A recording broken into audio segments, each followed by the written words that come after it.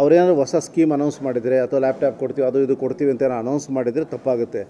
ಏನೋ ಅನೌನ್ಸ್ ಮಾಡಿದ್ರೆ routine visit ಇದ್ದರೆ ಏನು ಮಾಡೋಕ್ಕಾಗಲ್ಲ. ಇಲ್ಲ, ಪ್ರಚಾರಕ್ಕೆ ಯಾವುದೋ ಅವಕಾಶ ಇಲ್ಲ.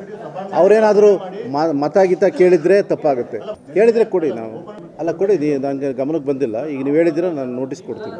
ಕೊಡ್ತೀವಿ, ಯಾರು ಕಾರ್ಯಕ್ರಮ ಆಯೋಜನೆ ಮಾಡಿದ್ರೆ ಫಸ್ಟ್ ಅವ್ರಿಗೆ ನೋಟಿಸ್ ಕೊಡ್ತೀವಿ. ಏನಂತ ವಿಡಿಯೋ ತೊಗೊಂಡು ನೋಡಿ ನಾವು ಪರಿಶೀಲನೆ ಮಾಡಿ ಎಲೆಕ್ಷನ್ ಕಮಿಷನ್ ಕಳಿಸ್ಕೊಡ್ತೀವಿ. ಅಲ್ಲ, ಅಲ್ಲಿ ಯಾರು ಯಾರು ಮತಯಾಚನೆ ಮಾಡಿದರೆ ವಿಡಿಯೋ ತರಿಸ್ಕೊಂಡು ನೋಡ್ತೀನಿ.